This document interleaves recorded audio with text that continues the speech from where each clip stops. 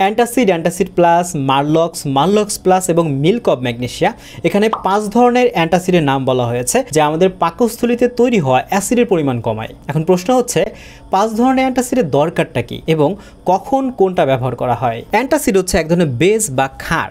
এই ক্ষার কি করে? আমাদের পাকস্থলিতে তৈরি হওয়া অ্যাসিডের সাথে বিক্রিয়া করে অ্যাসিডকে নিউট্রালাইজ করে দেয়, অর্থাৎ পাকস্থলীর অ্যাসিডের পরিমাণটা কমায়। তো প্রথমে আমরা দেখি ম্যাগনেশিয়াম হাইড্রোক্সাইড, যেটা শুধুমাত্র সিরাপ আকারে পাওয়া যায়, যেমন ম্যাগমিল মিল্ক অফ ম্যাগনেশিয়া, মম এবং একমিস মিল্ক অফ ম্যাগনেশিয়া। তো এই ওষুধগুলো সিরাপ আকারে পাওয়া যায়। দেখা যায় কারও যদি কষার সমস্যা হয় বা কনস্টিপেশন হয়, সেক্ষেত্রে এই ওষুধটা অনেক ব্যবহার করা হয়। কারণ এই ওষুধটা আমাদের জিআই ট্র্যাকের মোটিলিটি বাড়ায় দেয়। ফলে দেখা যায় যে কনস্টিপেশনের সমস্যা ছিল, সেটা কমে আসতেছে। এবং সেই সাথে ওষুধটা আমাদের বুক জ্বালা পড়া যে সমস্যা, এইটাও কমাতে হেল্প করে। এখন চলে আসি আমাদের নেক্সট যে ওষুধটা, সেটা হচ্ছে magnesium hydroxide plus aluminium hydroxide অর্থাৎ আগে যে ম্যাগনেশিয়াম হাইড্রোক্সাইড শুধু অ্যান্টাসিড হিসেবে ছিল, তার সাথে আমরা কি করলাম? অ্যালুমিনিয়াম হাইড্রোক্সাইড যোগ করলাম। একটা ব্যাপার মাথায় রাখবেন আমি যদি গ্যাস্ট্রিক অ্যাসিড কমানোর জন্য শুধু ম্যাগনেশিয়াম হাইড্রোক্সাইড খাই, সেক্ষেত্রে কিন্তু ডায়রিয়ার সমস্যা দেখা দেবে। আর যদি কেউ অ্যালুমিনিয়াম হাইড্রোক্সাইড শুধু খায়, সেক্ষেত্রে কিন্তু দেখা যাবে যে তার কনস্টিপেশন হচ্ছে। এখন এই দুটো ওষুধ যদি আমি ব্যালেন্সড আকারে একসাথে ব্যবহার করি কম্বিনেশন আকারে, সেক্ষেত্রে আমার ডায়রিয়া এবং কনস্টিপেশনের কোনোটাই সাইড এফেক্ট দেখা দেবে না।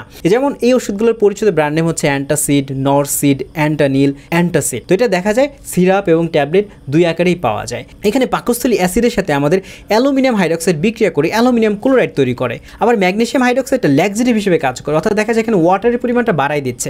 যে কারণে এই ওষুধটা যদি কনস্টিপেশনও হয়ে থাকে, সেক্ষেত্রে এই ওষুধটা ব্যবহার করা যেতে পারে। এবং ম্যাগনেশিয়াম হাইড্রোক্সাইড এখানে থাকা অ্যাসিডের সাথে বিক্রিয়া করে ম্যাগনেশিয়াম ক্লোরাইড তৈরি করে।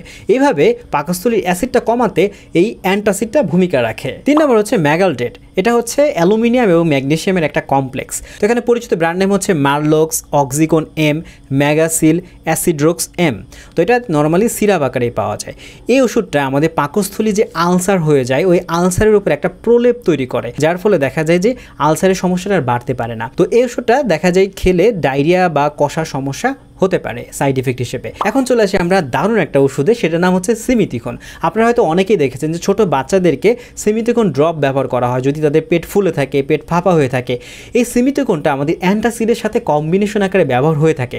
কারণ এটা হচ্ছে একটা অ্যান্টি ফ্ল্যাটুলেন্ট কারণ যদি পেট ফাঁপা বা পেটে গ্যাস জমা হয়, ওই পেটে যে গ্যাসের যে বাবলগুলো আছে বাবলগুলোকে নষ্ট করে দেয় এই সিমিতিকন অর্থাৎ কারও যদি পেট ফাঁপা বা পেট ফাঁপার কারণে পেটে ব্যথা হচ্ছে, পেটে গ্যাস জমে আছে, এই সকল সমস্যার ক্ষেত্রে সিমিতিকনের যে কম্বিনেশন এটা খুব ভালো কাজ করে। যেমন আমরা দেখতে পাই ম্যাগালডিট প্লাস সিমিথিকন এটা খুব দারুণ কাজ করে। যেমন ব্র্যান্ড নেম হিসেবে আছে ম্যাললক্স প্লাস ম্যাগান্টা প্লাস নোভেলটা গ্যাস্টিড এটা শুধুমাত্র সিরাপ আকারে পাওয়া যায়। খেয়াল করুন এই ওষুধটা শুধুমাত্র আমাদের গ্যাস্ট্রিকের সমস্যাটাই কমায় না, সেই সাথে আমাদের পেট ভরা ভরা বা পেটের মধ্যে অনেক গ্যাস জমা হওয়া বা এই রিলেটেড যত প্রবলেম আছে, সেটা কমাতে হেল্প করে। এরপর চলে আসি আমরা magnesium hydroxide aluminium hydroxide plus simethicone আগে যে আমরা অ্যান্টাসিড দেখেছিলাম, ওই অ্যান্টাসিডের সাথে এখন সিমিথিকন অ্যাড করা হয়েছে। তো সেটা হয়ে গেছে অ্যান্টাসিড প্লাস বা antacid max Acidon Z plus Antanil plus.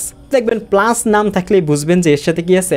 Simethicone আছে। তো এটা কি করে? এটা সিরাপ এবং ক্যাপসুল দুই আকারেই পাওয়া যায়। এখন এটা শুধু যে আমাদের টক ঢেকুর বা পেটের গ্যাস কমাচ্ছে এমনটাও না, এটার সাথে কিন্তু আমাদের পেটে জমে থাকা যে বাবলগুলা বা পেট অনেক ফুলে যাওয়া, এই সমস্যাগুলো কমাবে। এখন আসি অ্যান্টাসিড ব্যবহারে কিছু কথা। মাথায় রাখবেন, কেউ যদি প্রেগনেন্সিতে থাকে, সেক্ষেত্রে ট্যাবলেটের চেয়ে অ্যান্টাসিড সিরাপ খাওয়াটা সব থেকে বেটার তো সেক্ষেত্রে অবশ্যই আপনি ডাক্তারের পরামর্শ নেবেন। আরেকটা ব্যাপার, কারও যদি কিডনিতে সমস্যা থাকে, সেক্ষেত্রে কিন্তু অ্যান্টাসিড ব্যবহারে অবশ্যই আপনাকে সতর্ক হতে হবে। কারণ অ্যান্টাসিড হিসেবে আমরা খাচ্ছি এক ধরনের ক্ষার। ক্ষারে থাকে কি? অ্যালুমিনিয়াম ম্যাগনেশিয়াম এখন এই অ্যালুমিনিয়াম ম্যাগনেশিয়ামের পরিমাণ যদি বেড়ে যায়, সেক্ষেত্রে কিডনিতে সমস্যা হতে পারে। এজন্য কারও যদি কিডনি সমস্যা হয়, সেক্ষেত্রে অবশ্যই অবশ্যই আপনি ডাক্তারের পরামর্শে অ্যান্টাসিড ব্যবহার করবেন। এখন থেকে অ্যান্টাসিডের সাথে কিছু ওষুধ রয়েছে যেগুলো ইন্টারাকশন হতে পারে। এজন্য আপনি খেয়াল করবেন, যখন আপনি ওই ওষুধগুলো খাচ্ছেন, সেক্ষেত্রে এক থেকে দেড় ঘণ্টার মধ্যে অ্যান্টাসিড খাওয়া থেকে বিরত থাকবেন। অর্থাৎ অ্যান্টাসিডটা অ্যাভয়েড করবেন। অথবা আপনি যদি অ্যান্টাসিড খেয়ে থাকেন, সেক্ষেত্রে এই লিস্টের যে ওষুধগুলো আছে, সেগুলো এক থেকে দেড় ঘণ্টার মধ্যে খাবেন না। যেমন টেট্রাসাইক্লিন অ্যান্টিবায়োটিক টেট্রাসাইক্লিন গ্রুপে যে অ্যান্টিবায়োটিকগুলো আছে, এর পাশে কুইনোলন অ্যান্টিবায়োটিক যেমন সিপ্রোফ্লোক্সাসিন লেভোফ্লোক্সাসিন এর পাশে আয়রন সাপ্লিমেন্ট এর পাশে ইমিডাজোল অ্যান্টিফাঙ্গাল যেমন কিটোকোনাজল এর পাশে অ্যালোপিউরিনল বিসফসফোনেট পেনিসিলিন ডিজোক্সিন এই যে ওষুধগুলো, এইগুলোর সাথে কখনো আপনি অ্যান্টাসিড খাবেন না।